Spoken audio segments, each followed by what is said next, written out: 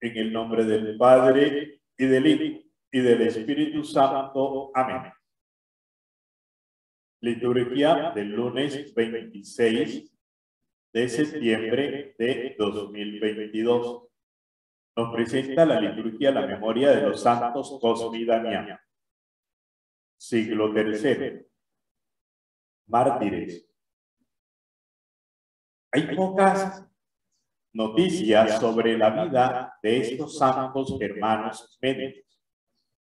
Se sabe que eran mellizos y cristianos y que nacieron en Arabia en el siglo III, estudiaron medicina en Siria y se dedicaron al cuidado de los enfermos, pero ejercían su profesión inspirados por la fe en Cristo. De ahí que no cobraban por sus servicios a los más pobres y que se les llamara anagiros, enemigos del dinero. Hasta esta forma de predicar y de practicar la medicina fue un instrumento muy eficaz de apostolado. Sin embargo, el Señor también los llamó a dar testimonio de Él a través del martirio. Durante el reinado del emperador Diocleciano, quizás en el año 303, el gobernador romano Licias los hizo decapitar en Egea de, Sicilia, de Cilicia, Turquía. Sus restos fueron enviados a Ciro, Siria, donde se construyó una iglesia en su honor. El culto a Cosme y Damián está atestiguado con certeza desde el siglo V.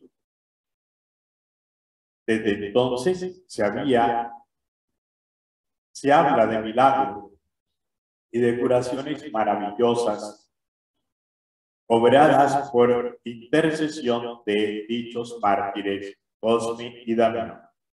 La liturgia de la palabra está tomada del libro de Job en el capítulo primero, versículo 6 al 22, el Salmo 16.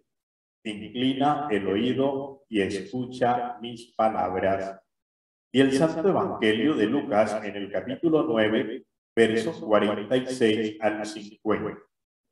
En aquel tiempo se suscitó entre los discípulos una discusión sobre quién sería el más importante. Entonces Jesús, conociendo los pensamientos de sus corazones, tomó de la mano a un niño, lo puso a su lado y le dijo, el que acoge a este niño en mi nombre, a mí me acoge. Y el que me acoge a mí, acoge al que me ha enviado pues el más pequeño de ustedes es el más importante. Entonces Juan tomó la palabra y dijo, maestro, hemos visto a uno que expulsaba demonios en tu nombre y se lo hemos prohibido, porque no anda con nosotros. Jesús le respondió, no se lo impida, el que no está contra ustedes está a favor de ustedes. Palabra del Señor. Gloria a ti, Señor Jesús. Mi querido hermano y hermana, en la vida nos gusta mostrar, nos gusta figurar, nos gusta ser más grande que los demás, el más importante. Nos gusta que nos rindan pleitesía. Y eso mire que no se escapa tampoco entre el grupo de los discípulos. También entre ellos está eso, quién es el más importante, el más grande. Pero Jesús es claro y dice, el más importante, el más grande en el grupo es aquel que se hace servidor de todo. Por eso el ejemplo que da María, María, yo soy la servidora del Señor, humilde y sencilla yo soy la servidora del Señor. Y así como María, que ha dicho, ella es la servidora del Señor, también usted y yo, todos nosotros, debemos ser los servidores de Dios y debemos procurar servirle día tras día a Dios, servirle de corazón sincero, que nosotros le sepamos entregar nuestra vida a Él, que podamos acoger a su Hijo Jesucristo en nuestra vida, en nuestra mente, en nuestro corazón, en todo nuestro ser, en el grupo apostólico, en nuestra vida personal, en nuestra asamblea eclesial.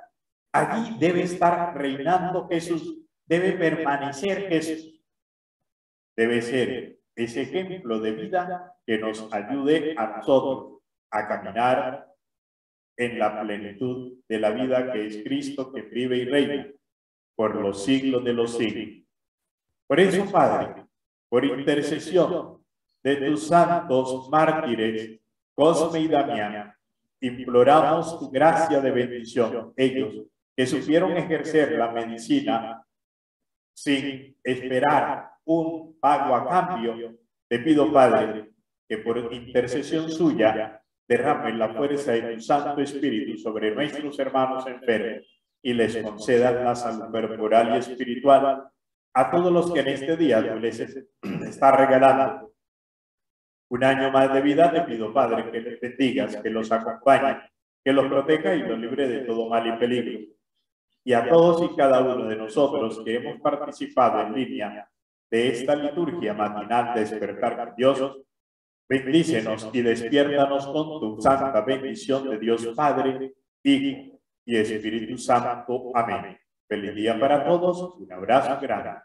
Bendiciones.